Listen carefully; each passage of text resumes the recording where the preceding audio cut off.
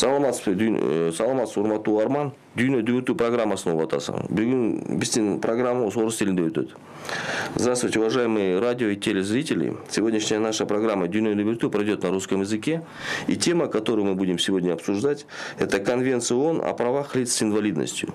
Гостями программы сегодня является толкунбек исаков президент фонда оказания юридической помощи лицам с инвалидностью, отличник юстиции, отличник социальной защиты и председатель общественного совета МВД Кыргызской Республики. Здравствуйте. Здравствуйте.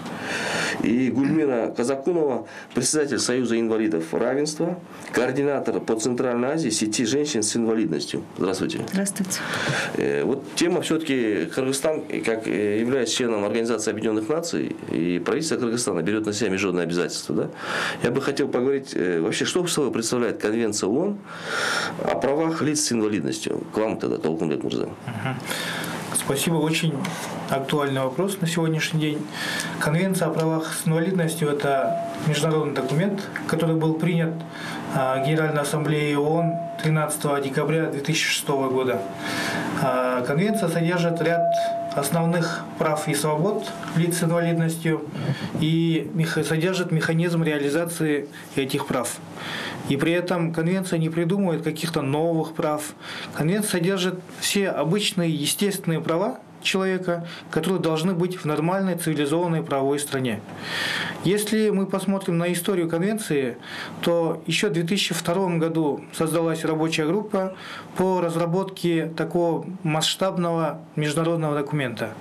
А, необходимость э, была вызвана тем, что на 2002 год 10% э, э, от населения земного шара были люди с инвалидностью. Для информации, на сегодняшний день уже свыше 15% э, населения земного шара уже имеет инвалидность. То есть, учитывая, что это очень актуальная глобальная э, тенденция, была как бы создана рабочая группа для разработки именно такой э, конвенции.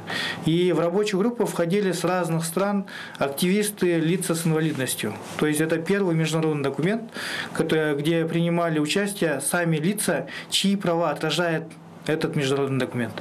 И после многочисленных обсуждений, работы.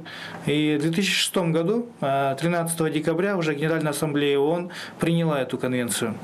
И при принятии этой конвенции э, одновременно принял, было принято и факультативный протокол, где содержатся все механические процедуры по нарушенным правам, изложенным в этой конвенции.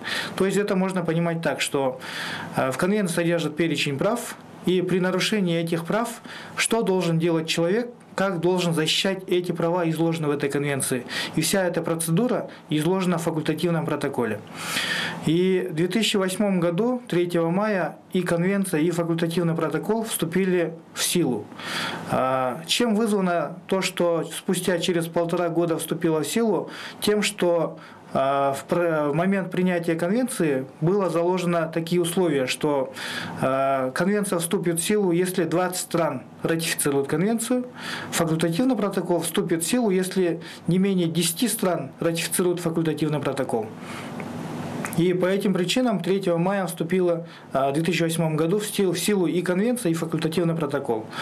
В Кыргызстане же активная деятельность по продвижению конвенции началась уже в 2008 году.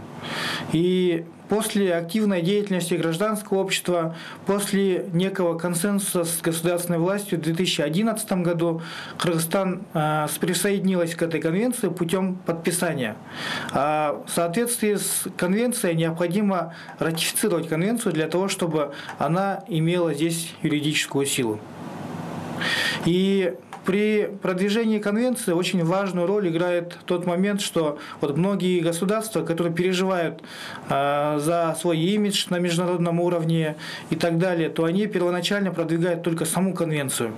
Для того, чтобы а, факультативный протокол оставить на более поздний срок для того, чтобы граждане этой страны не имели права обращаться в Комитет ООН о правах лиц с. И по этим причинам как бы эти два документа отдельно продвигаются в той или иной стране. А в Кыргызстане как обстоит ситуация вот у нас?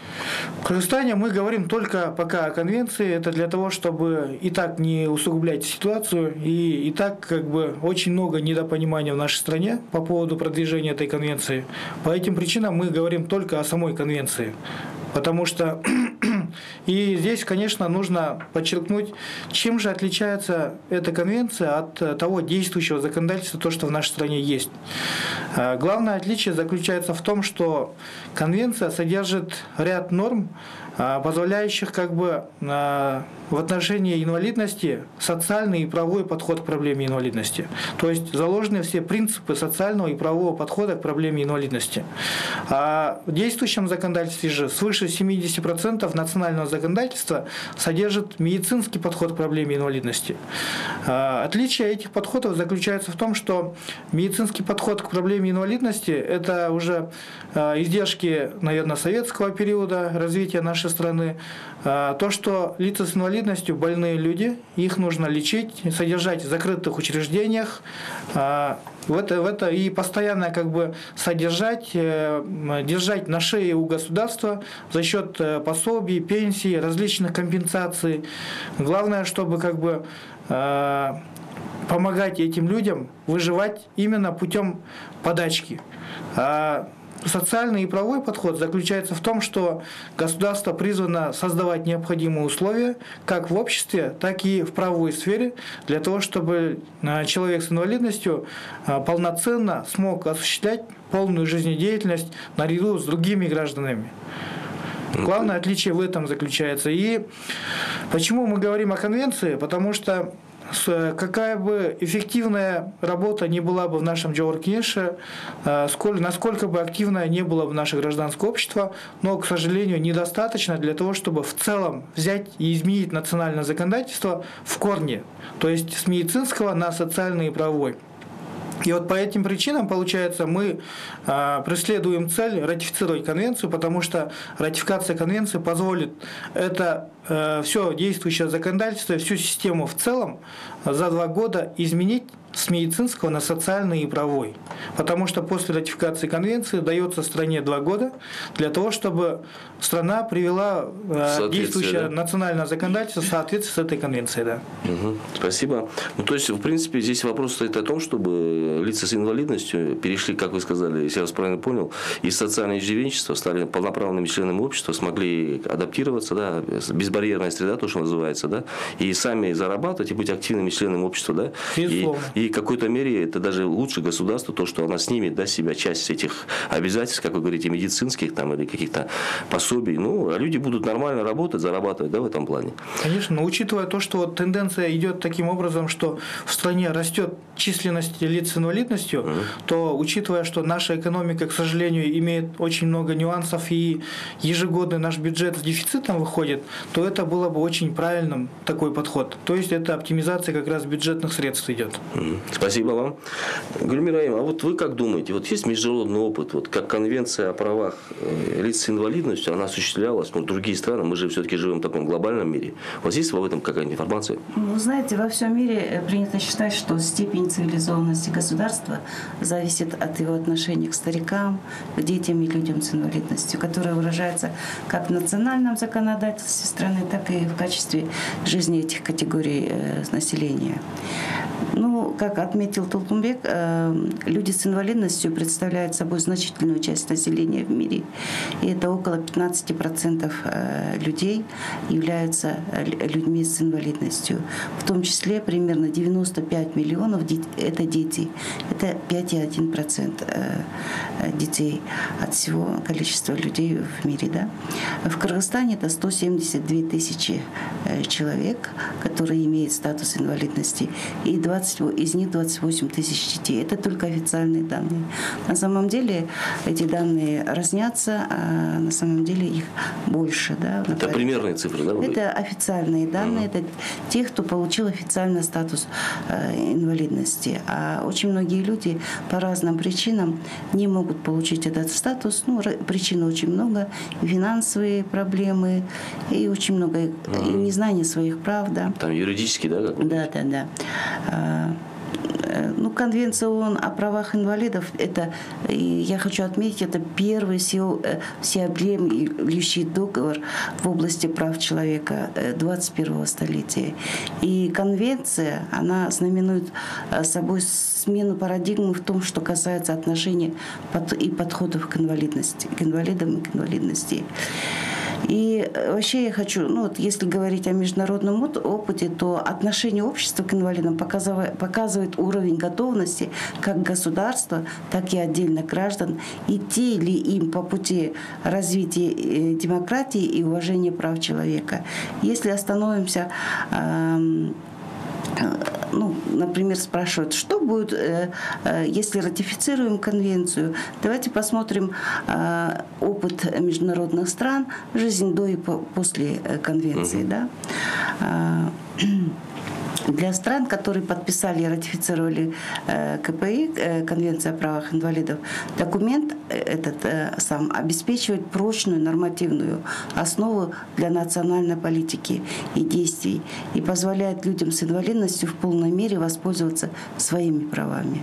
В разных странах ситуация в отношении принятия Конвенции ООН о правах инвалидов различна и зависит от политической воли руководства страны, это, наверное, самое важное, чего не хватает э, нашим э, политикам. Экономической ситуации и активности гражданского общества. Ну вот давайте посмотрим, если взять страны Центральной Азии и Азербайджан. Да? Азер... Угу. Азербайджан ратифицировал э, КПЕ и факультет... Э, факультативный протокол к ней в октябре 2008 года. Казахстан подписал Конвенцию о правах инвалидов в декабре 2008 года и в феврале 2015 года ратифицировал, но еще э, не ратифицировал факультативный договор. А Туркменистан же является первой страной Центральной Азии, Азии, который и ратифицировал и э, саму конвенцию, и, и факультативный, факультативный договор. Да.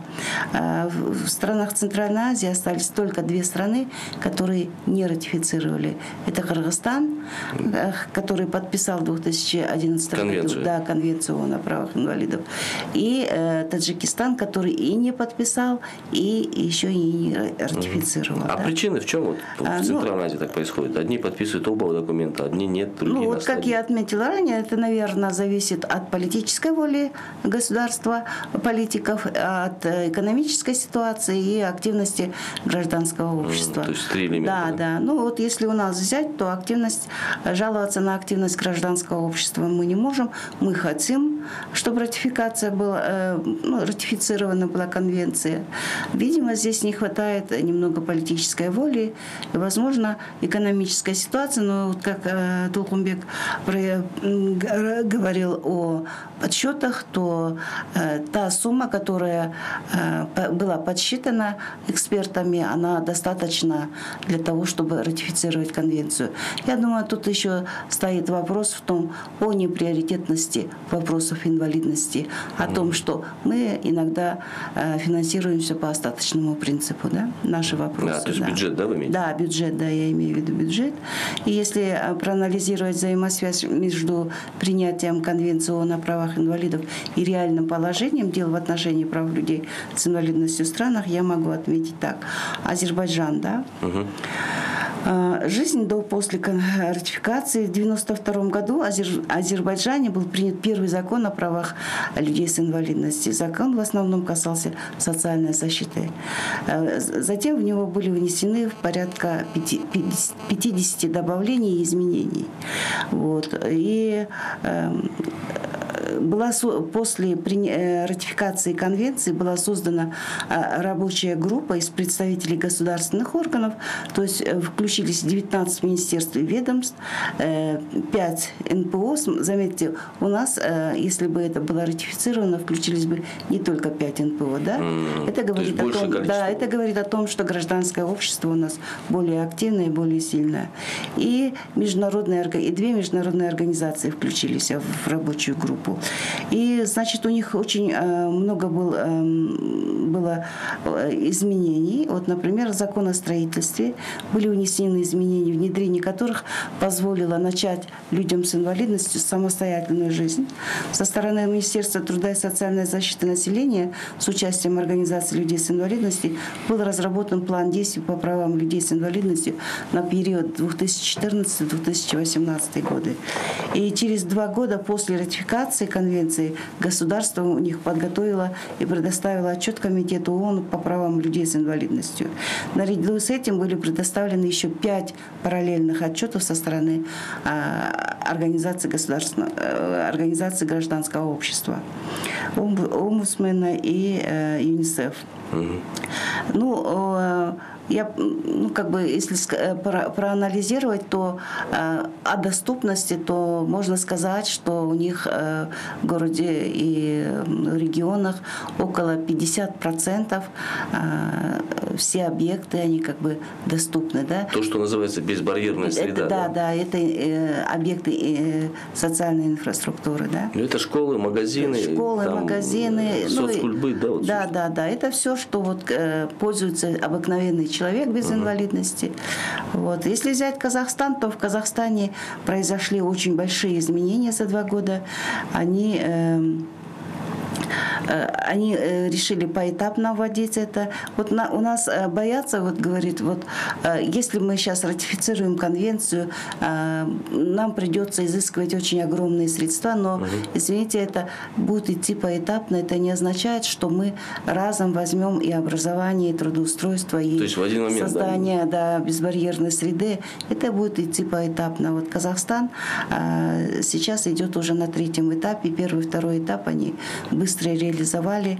И, а что входило? Первый, второй ну, этап? Вот, э, а в первый, э, второй этап – это создание, опять же, безбарьерной среды, повышение уровня жизни и интеграции их в общество, а потом, а, значит, эм, обеспечение, эм, обеспечение э, людей с инвалидностью разными э, средствами, которые помогают им быть независимыми. Mm. То есть уравнивание возможно, возможностей. Это средства реабилитации, вспомогательные средства, это создание инватакси, то есть это такси, которое, которым пользуются люди на колясках. У нас, э, к сожалению, общественный транспорт на 100% недоступен для коля... Э, людей, пользующихся колясками. Такси нету тоже, да, таких? У нас нету, нету да. Вот. Э, в целях принятия национального законодательства в соответствии с нормами конвенции они, был принят закон о внесении, у них был в Казахстане был принят закон о внесении изменений и дополнений некоторые законодательные акты республики. И э, было внесены 24 законодательных акта, в том числе 4 кодекса. Э, в течение 2016 года была проведена большая работа по совершенствованию подзаконных актов в сфере автомобильного, железнодорожного, воздушного транспорта, социальной защиты, здравоохранения, занятости, образования, внутренних дел, жилья и информации. И приказом э, Министерства э, труда и социальной защиты населения от 15 марта 2016 года был утвержден план мониторинга соблюдения э, э, конвенции, который предусматривает индикаторы мониторинга, ответственные органы по их выполнению, сроки мониторинга. И также у них был э, создан координационный совет, в который входили как государственные органы, так и организации гражданского общества. И на этом на координационном совете было принято что при каждом акимиате, при каждом министерстве внедрение института внештатных советников, то есть люди с инвалидностью становились, стали советниками при Министерстве финансов, здравоохранения, социальной защиты и при всех акимиатах Казахстана. Ну, как вы видите, это изменения очень большие, и я думаю, что ратификация конвенции это в первую очередь будет гарантом того, что э, права людей с инвалидностью они будут соблюдены, потому что это будет э, как бы и надзорный э, орган, э, ну, как бы будет мониторинг исполнения всех законов. То есть уже на юридической основе, как международное да, праве, да, вы берете на себя обязательства. Да. Галина тогда такой вопрос вам. Вот если возьмем немножко больше глобально, вот есть ли мировой опыт, ну, допустим, возьмем США там, или Европу, вот там как состоит вот, с конвенцией о правах инвалидов, да, с лиц инвалидностью, какие-то что-то происходит, чтобы такие примеры были не только региональные, но и в глобальном масштабе, вот, может, США, там, Европа. Можете об этом рассказать? Толком ты или... или вы толком Ну, хорошо. А, ну, э, США а, а, недавно ратифицировал конвенцию, но у них до этого был закон о недискриминации, и у них свои собственные законы были настолько mm. сильны, что как бы им... То есть национальные, да? Да, национальные законы настолько сильны, и настолько они работали и обеспечивали, соблюдали права людей с инвалидностью. И э, если взять Японию, то сами люди с инвалидностью не хотели ратифицировать, пока, пока э, в стране не будет принят закон о недискриминации людей с инвалидностью. А, то есть у них свой такой путь, да? Да, да, да. У, них, у, у каждой страны свой путь. Э, Финляндия. Финляндия недавно ратифицировала конвенцию, хотя э, у них э, законы и доступная среда, вот как мы говорим, безбарьерная среда, mm-hmm. оно на 100% как бы можно себя чувствовать там полноценным, независимым человеком. Э, ну, конечно, есть, может быть, некоторые, некоторые какие-то вот э, статьи законов, э, которым недовольны сами люди, проживающие в этих странах. Но если взять в общем, то эти передовые страны, они тоже вот как бы недавно ратифицировали конвенцию о правах инвалидов, но почему это поздно? Потому что все равно их национальные законы, они. Э, как бы работали, и в отличие от наших законов, которые являются э, декларативными и почти, вот если взять закон о правах и гарантиях лиц с ограниченными возможностями КР, то он, можно сказать, на 70% является декларативным. Угу. То есть, если я вас правильно понял, получается, что есть страны, которые экономически развиты, политически, они уже давно на национальном уровне законодательства приняли законы, создали все условия, потом приняли конвенцию. Это один подход. Второй подход, наоборот, да, это больше постсоветским странам или развивающимся экономикам, когда они принимают конвенцию, факультативный протокол, а потом принимают меры в соответствии с конвенцией. Да? Да, То есть это, в принципе, они... пути разные, да, бывают? Да, потом они разрабатывают план э, действий, да? Да, действий и внесение изменений в национальное законодательство. Угу. У меня тогда такой вопрос. Вот я, мы говорили немножко про США, там насколько я знаю, э, при президенте Соединенных Штатов Америки есть специальный представитель, да, который занимается этими вопросами. Да, вот это... да э, у них есть э, советник президента при, по вопросам инвалидности.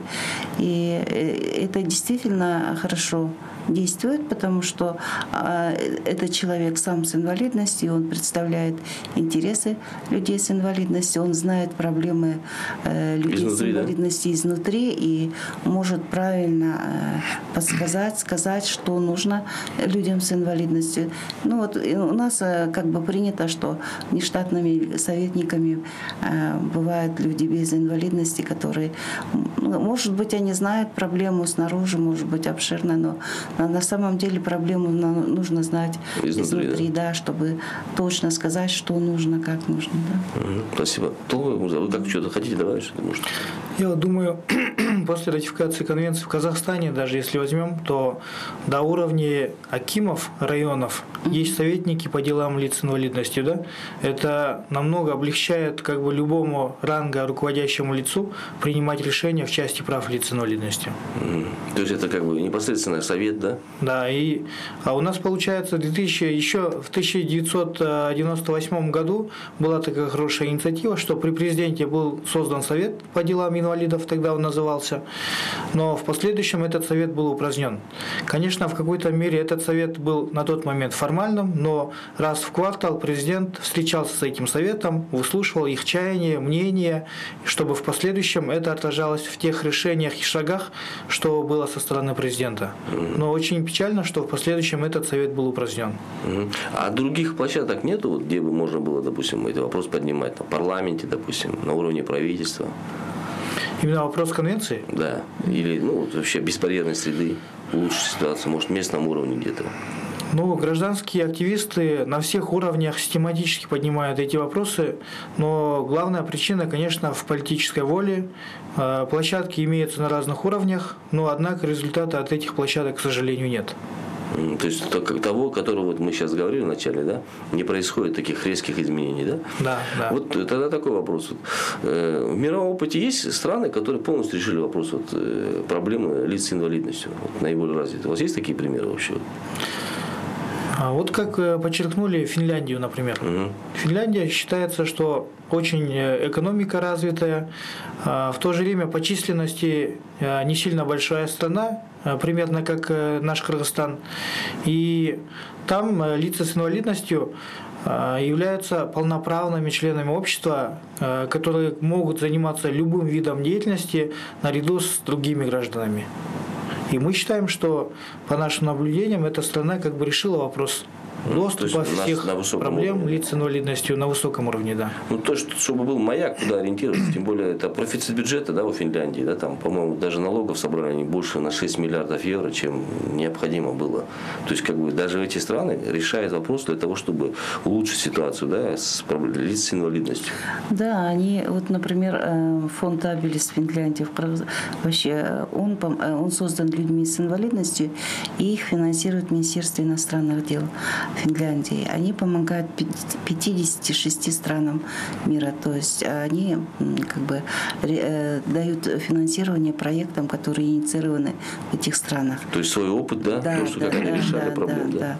И это говорит о том, что э, как бы страна может э, помогать, и страна может это реализовывать и соблюдать права людей с инвалидностью. Да.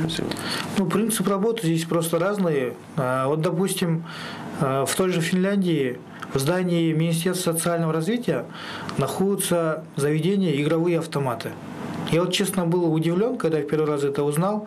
После выяснения оказалось, что э, все вот прибыль, поступающая от игровых автоматов, это вот игорное заведение, э, поступает в бюджет Министерства социального развития. И примерно в год, оказывается, это заведение дает около миллиона, трех, 300 миллионов евро.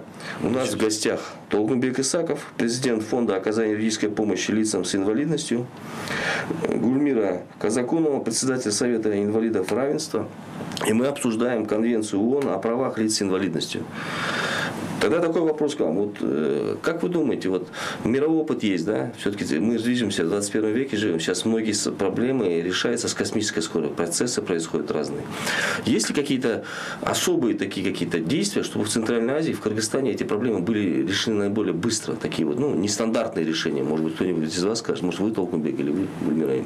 Я считаю, все дело в политической воле. Uh-huh. Я, и многие эти вопросы снялись бы, если бы высшее руководство нашей страны приняло бы решение продвинуть этот вопрос для того, чтобы э, решить э, уровень жизни, наверное, в сторону улучшения лиц с инвалидностью, во-первых. Во-вторых, э, что таким образом не только охватывается именно повышение уровня, уровня жизни лиц с инвалидностью, но и других смежных социальных групп.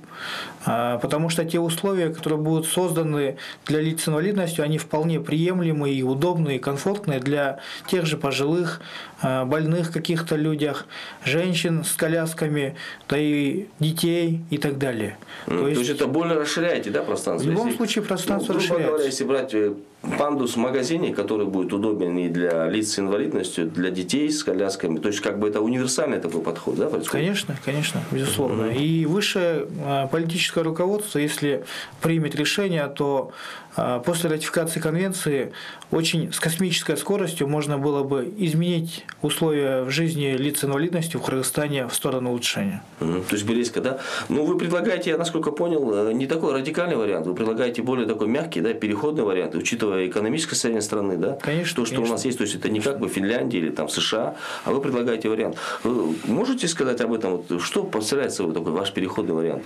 А, После ратификации вообще э, нужно как бы иметь в виду, что те вопросы, которые э, требуют экономического воздействия, то это может решаться путем как бы постепенного внедрения по мере роста экономики страны. Но есть какие-то принципиальные вопросы, которые могут быть решены сиюминутно и которые не требуют каких-то экономических расходов. Например, в части образования, трудоустройства и так далее. И при этом как бы здесь нужно вопросы делить главным образом вот на, на такие две группы.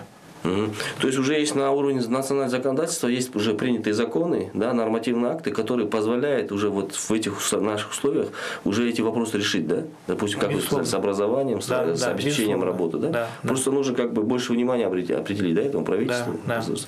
Хорошо. А вы как вы думаете, Эльмира, вот по этому же вопросу? Ну, я думаю, как э, Казахстан, он э, внедрял, э, внедряет конвенцию поэтапно, то есть на несколько этапов. И точно так же нужно здесь выбрать приоритеты, которые нужно в первую очередь, вторую, третью. Ну, например, в первую очередь можно взять образование, инфраструктуру и социальную защиту. Да? А, ну и потом далее, далее. Если говорить о национальном законодательстве, то, как я отметила э, ранее, то оно э, в основном не работает. Опять, опять же, нужно там, э, может быть, внести какие-то, внедрить механизмы реализации законов, подзаконных актов, чтобы или мониторинг эм, соблюдения этих исполнения этих законов. Да. Здесь, может быть, и прокуратура будет подключена как надзорный орган. И я думаю, что это возможно. И здесь вот больше, наверное, страха, э, чем э, как отметил Толкунбек, нужна политическая воля. Если будет политическая воля, если эта э, конвенция ратифицируется, то вот представьте, 172 2000 людей с инвалидностью постепенно, ну не, не в один день, они приобретут они станут людьми э, э, независимыми, независимыми от э, родственников, независимыми от окружающей среды. Что делает человек? Смогут развиваться, да? Да. Что делает человека инвалидом, да? Человеком инвалидом делает не его состояние, не то, что он сидит на коляске или он не видит или еще что-то. Человека э, инвалидом делает окружающая среда. Те же ступеньки, э, те же э, светофоры, да, которые э, э, вот мы сейчас вот говорим, да, да, э, светофоры сигна, сигна, сигнальные, да, ну, которые есть, говорящие, они есть, но они не везде, да. Тоже отношение людей к, к инвали, с инвалидностью, общество к людям с инвалидностью, угу. то есть стереотипы и стигмы, которые иногда очень мешают жить. А вот что мешает, например, человеку на коляске просто пойти в магазин, купить хлеб. И мешает не его коляска, не мешает, мешает не его состояние, а мешает, во-первых, эти же ступеньки, мешает опять же отношения людей. Почему он там дома не сидит, ему уже принесут, да? И, или э, унижение достоинства, да, э, например, э, получают люди с инвалидностью 5300 сомов в месяц. Угу. Человек, который, э, скажем, парализованный, лежит дома. На что эти деньги хватит? Если ратифицируется конвенция, то есть статьи, которые позволяют позволяет снабжать там, теми же санитарно-гигиеническими средствами, на которые уходит 50% пенсии на данный момент. А остается, э, если, Месяц, да? да, остается где-то 20% на э, питание и еще на что-то. Но человеку можно, нужно же еще и развиваться. Здесь мы не говорим там о газетах, журналах или об интернете. Э, система личных помощников решится. Система личных помощников нужна для того, чтобы люди с инвалидностью могли вести полноценный образ жизни, то есть они могли бы работать. Да? Без личного помощника человек никуда сейчас в нашей среде не, выходит. Или, например, оплата матерям, а, которые имеют детей с инвалидностью. Они вынуждены дома сидеть, смотреть за ребенком, а они не думают о себе, о том, что будет потом, когда будет подойдет пенсионный возраст. А, ну, то есть социальные да. выплаты не ведутся, да, социальная пенсия, да? Да, не только, ну вот вообще... Страховая, да, часть. Э, да, да, да, да. Это как бы не оценивается как труд. И мать вынуждена сидеть дома с ребенком. Иногда это приходится ей делать одной. Э, в большинстве отцы уходят. Угу. То есть это в будущем будет усугубление проблемы, да? Да. Социальные выплаты государства, да? То есть она не работала, пенсии не, получила, не вычисления не было социальных отчислений, пенсию она не будет получать уже в пожилом возрасте, то есть как бы еще будет... Это будет минимальная пенсия, это которая угу. тоже вот ми, э, минимум. То есть надо смотреть в будущее, да, все-таки, да. да.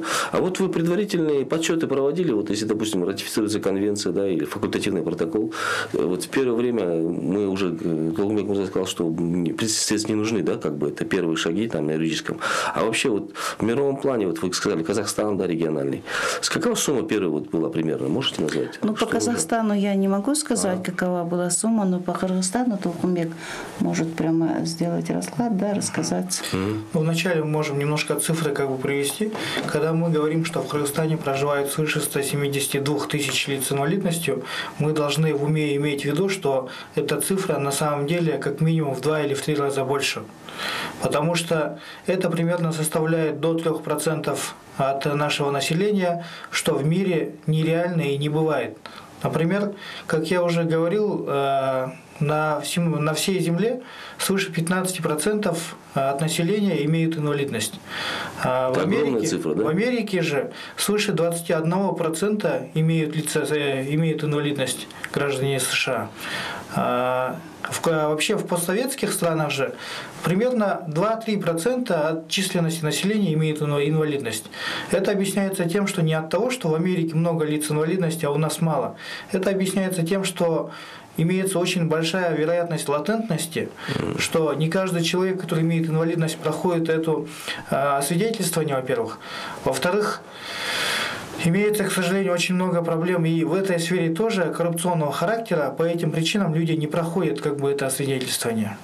И главная причина, как я уже говорил, в Советском Союзе, как известно, лиц с инвалидностью не было. Все были в закрытых заведениях, на улицах никто не появлялся, либо сидел дома, либо в закрытых учреждениях. И по этим причинам как бы всегда была статистика занижена. И если будем говорить о э, финансовых цифрах, то независимые эксперты посчитали, что после ратификации конвенции необходимо будет 30 миллиардов сомов в течение 10 лет. Э, учитывая, что бюджет страны на сегодняшний день составляет примерно 140-150 миллиардов сомов, и в течение 10 лет оно примерно будет составлять 1,5-2 триллиона сомов, я имею в виду за 10 лет в сумме. И из этой суммы 30 миллиардов – это капля в море. И при этом из этих 30 миллиардов сомов 22 миллиарда сомов идет на строительство социального жилья. 8 миллиардов сомов только идет на создание необходимых условий. И мы считаем, что эта цифра достаточно мизерная для того, чтобы как бы наша экономика не боялась Э, ратифицировать конвенцию и в последующем внедрять нормы, изложенные в этой конвенции. Угу. Все-таки, если я вас правильно понял, основная причина в том, что не идет ратификация, это то, что это будет очень сильно экономически тяжело для бюджета да, условия. Такова логика или нет? Вообще есть э, две логики, которые имеются на сегодняшний день. Первая логика э, – это, конечно, э, при продвижении любого вопроса в нашей стране привыкли связывать с финансами. То есть те, которые думают, что потребуются большие финансы для э, притворения в жизнь норм конвенции.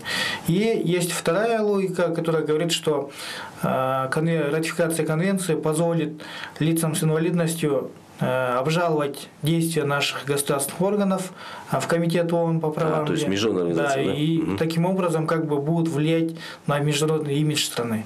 А, есть... И есть третье, конечно, что Кыргызстан не сможет э, внедрить нормы, э, изложенные в конвенции, и после этого как бы какие-то санкции будут, это уже как бы на уровне недопонимания всего механизма mm. этой конвенции и реализа... механизмов реализации.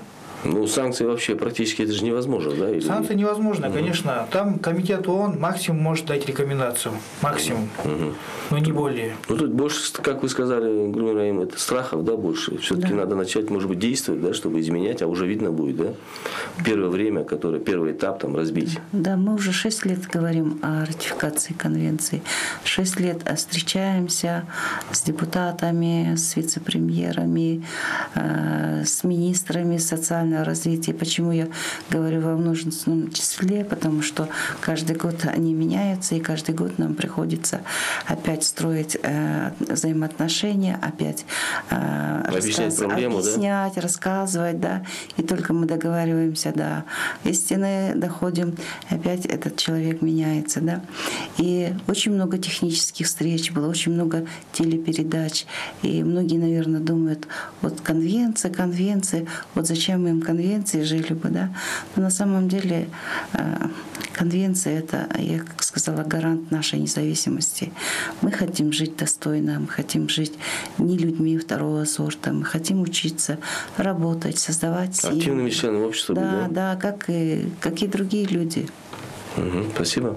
Вот э, тогда такой вопрос к вам. Вот вообще э, позитивно какое-нибудь вы видите решение этого вопроса в будущем вообще? Вот как вот Толгмет Муза вы думаете? Вообще? Ну, учитывая, что мы сейчас как бы в преддверии президентских выборов, я считаю, что а, любой из кандидатов в президенты должен взять на заметку, что после избрания в первую очередь будет продвигать этот вопрос. Угу. Мы очень надеемся на это. И что если будет политическая воля от э, президента для продвижения этого вопроса, мы считаем, что э, этот вопрос пойдет быстро, и этот президент останется в истории нашей страны таким, э, таким позитивным, что он сделал именно в социальной сфере. Как я уже сказал, потому что это касается не только лиц с инвалидностью, но и других социальных групп. Угу. То есть такой это все-таки позитивный да, настрой? Да, да надежда. Конечно. Надежда, конечно. да? Ну, угу. лица с инвалидностью привыкли жить с надеждой. Это одна из надежд, то, что есть на сегодняшний угу. день. Ну и надеюсь, все будет как бы нормально в этом плане, да? Ну, надеемся. Угу. Вот, э, как вам вопрос тогда такой? Вот как вы думаете? Вот э, сейчас столько много кандидатов, как вот только Муза сказал, в президенты.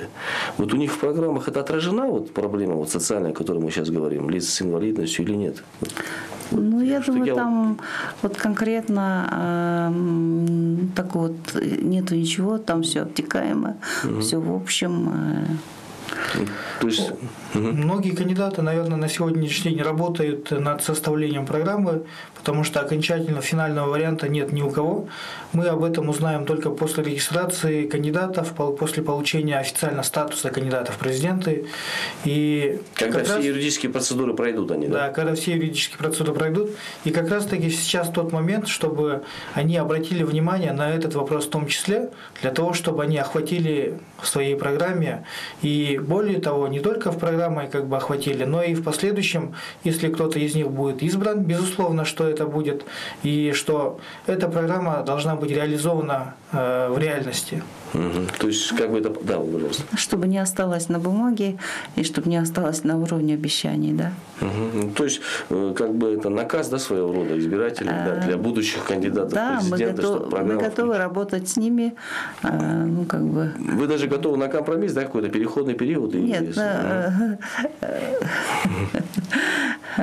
Мы готовы работать э, с тем человеком, который действительно будет поддерживать людей с инвалидностью, который действительно будет за, э, э, родить за цивилизованное государство, за демократическое государство и соблюдать принципы демократии.